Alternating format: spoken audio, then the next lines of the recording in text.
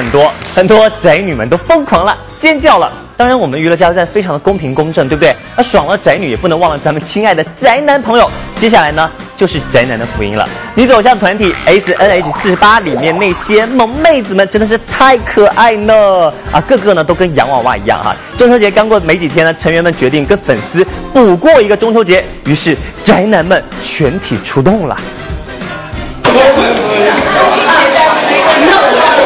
演出还没有开始，贴心的两位成员赵佳敏和徐晨晨就已经早早的到了一楼大厅派发月饼，让慕名前来的宅男粉丝们心花怒放，开心的都有点手足无措了。这会儿就算有人拿到的是五仁馅的，也会好好珍惜。